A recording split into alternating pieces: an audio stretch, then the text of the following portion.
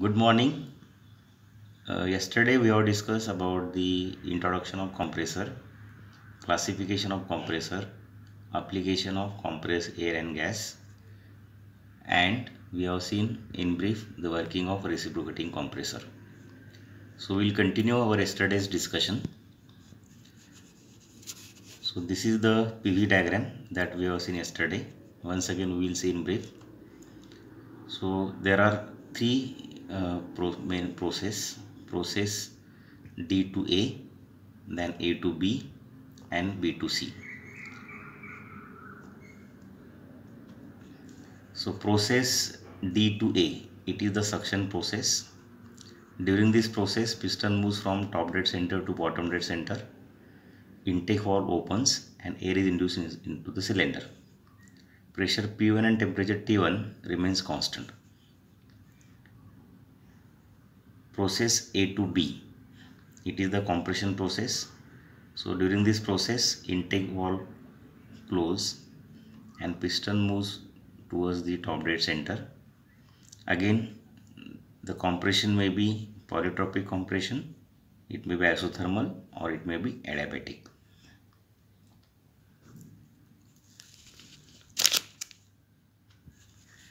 then process B to C it is the discharge process so during this process discharge or opals and compressed air is sent to the environment or to the application or it is stored in the tank. Again the pressure P2 and temperature T2 remains constant. Process C to D it is the expansion process. Both the valves that is intake valve and exhaust valve or the discharge valve remain closed. Again the process takes place at constant volume and the expansion may be polytropic expansion with or without clearance. Now let us discuss about the indicated work or indicated power or expression for indicated work or indicated power. So DABC it is one cyclic process and for this cyclic process we can write that is work is equal to integration 1 to 2 PdV. Again this work is area that is A, B, C, D. Now the same area A, B, C, D we can write as area A, B E F plus B C O E minus area that is A D O F. Now for the process A to B similarly for the process B to C and for the process D to A we can write the same area as P2 VB minus P1 VA upon n minus 1 plus P2 VB minus P1 VA. Again taking this P2 VB minus P1 VA common we can write the term as n upon n minus 1 P2 VB minus P1 VA. Again we know that for the process the for the process 1 to 2 or for A to B it is the polytropic process for the process A to B the relation between temperature ratio pressure ratio and volume ratio is given as T2 by T1 is equal to P2 by P1 raised to n minus 1 by n is equal to V1 by V2 raised to n minus 1. Now again since it's an open system so for the open system we can write the indicated work is also given as integration p1 to p2 vdp or that is area a b c d. And same area we can write as n upon n minus 1 p2 vb minus p1 va again we know that by general gas equation pv is equal to mrt so we can substitute the value of P2VB and P1VA in terms of MRT2 and MRT1 in this expression. So from this expression we can write this expression when we substitute PV is equal to MRT. So that indicated work is equal to N upon N minus 1 MRT2 minus MRT1. Again we can take this MR term common N upon N minus 1 common. So it's N upon N minus 1 MR into 2 minus 1. Again take T2 common here. So we can uh, sorry 1 common so we can write n upon n minus 1 mrt1 is equal to t2 by t1 minus 1. Again, we can write the relation for t2 by t1 in terms of pressure ratio. And accordingly, we have n upon n minus 1 mrt1 p2 by p1 raised to n minus 1 by n minus 1. Again, we can replace this mrt1 in terms of p1 va by general gas equation. So again, it is n upon n minus 1 p1 va p2 minus p1 raised to n minus 1 by n minus 1 by n minus 1.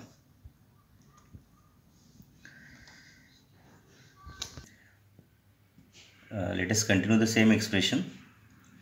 Uh, we know that uh, the power or the power rate depends on the type of action. So whether we have single acting reciprocating compressor or we have double acting reciprocating compressor. So accordingly the mass flow rate we can write as m into n into the action as per the double single acting and double acting. If it is single acting then here we can write 1. If it is double acting then we can write as 2. This action as 2. So mass flow rate we can write as m to n into action. So here this m dot is in terms of m, n and the number as per the of the cylinder. The same expression is written as that is w dot is equal to n upon n minus 1 m dot rt1 p2 by p1 raised to n minus 1 by n minus 1 again by general gas equation we can write this m dot rt1 as p1 v dot. So accordingly the same expression is n upon n minus 1 p1 v dot p2 by p1 raised to n minus 1 by n minus 1 now let us discuss about the mechanical efficiency we know that mechanical efficiency is the ratio of output to the input. So in compressor we can define this mechanical efficiency as the ratio of indicated power to the shaft power. Again this shaft power is the sum of indicated power plus friction power losses.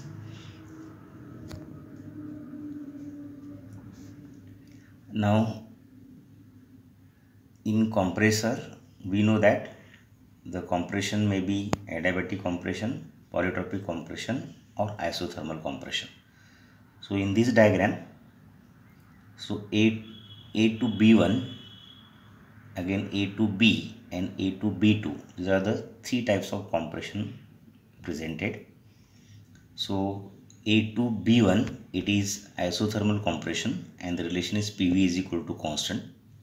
Then A to B is polytropic compression again the relation is PV raised to n is equal to constant and A to B2 is adiabatic compression and the relation is PV raised to gamma is equal to constant. So we can see here so for the isothermal process the work is A, B1, C, D. Similarly for the polytropic process the work is A, B, C, D, A and for the adiabatic it is A, B2, C, D, A. So we can see here the work required during isothermal process is less compared to other process. And so accordingly uh, let us write the expression for isothermal work and isothermal efficiency.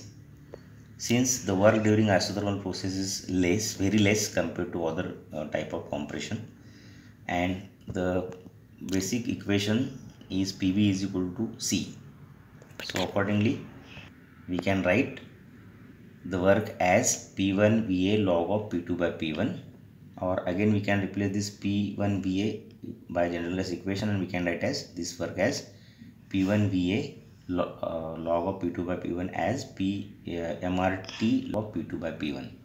Again isothermal efficiency is the ratio of isothermal work to the indicated work. So we have expression for isothermal work as MRT log of P2 by P1 and for indicated work we have expression that is M uh, n upon n minus 1 MRT uh, in terms of p2 by p1 raised to n minus 1 by n minus 1 so we can substitute as expression here. And accordingly we can write the expression for isothermal efficiency in terms of isothermal work and indicated work now uh, today we'll stop here. Uh, we'll discuss uh, further about the compressor with clearance. So whatever we have discussed till this slide is about the compressor without clearance. Now how to define the work during compressor with clearance? And again isothermal efficiency volumetric efficiency that expression we will discuss in the next lecture. Thank you